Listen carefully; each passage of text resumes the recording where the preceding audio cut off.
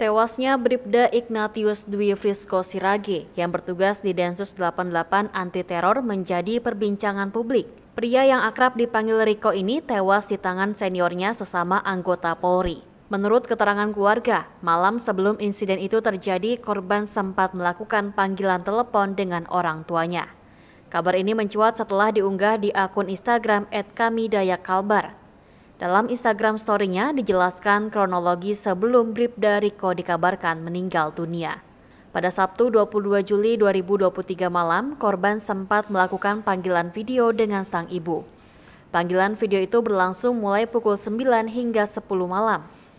Keluarga Bribda Riko kemudian mendapat panggilan dari kepolisian sekitar pukul 10.30 waktu Indonesia Barat pada hari Minggunya agar berangkat ke Jakarta. Keluarganya awal diberitahu jika korban masuk ke ICU. Saat ini pihak kepolisian telah menangkap dua orang pelaku yang juga anggota polisi. Pihak Tribun Video telah mencoba menghubungi keluarga Bribda Riko melalui sang pengacara Sucipto Omdo.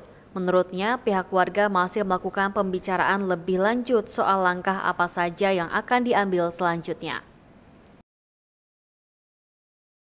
Tewasnya anggota Densus 88 bernama Ignatius Dwi Frisco Sirage alias Riko tengah menjadi perbincangan di masyarakat. Pasalnya, Bribda Ignatius Dwi Frisco Sirage diduga tewas ditembak oleh sesama anggota Polri pada Senin 24 Juli 2023 lalu. Berdasarkan informasi yang beredar, dugaan penyebab tewasnya anggota polisi bernama Bribda Ignatius Dwi Frisco Sirage alias Riko tersebut lantaran pertengkaran dengan seniornya yang juga bertugas di Densus 88 Jakarta. Kabar ini pun viral di WhatsApp grup kalangan masyarakat adat Daya Kalimantan Barat.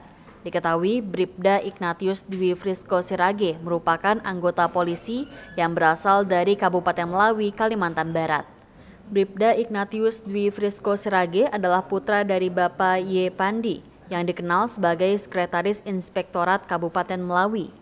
Sementara sang ibu, Inosensia Antonia Tarigas, bekerja sebagai staf puskesmas Kecamatan Nangapino, Melawi.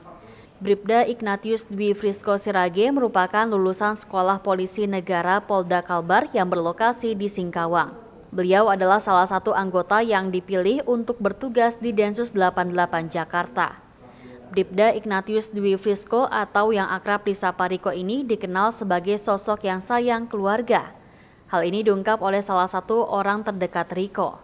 Jenazah Riko disemayamkan pada Selasa 25 Juli 2023 di rumah duka di Nangapino, Kabupaten Melawi.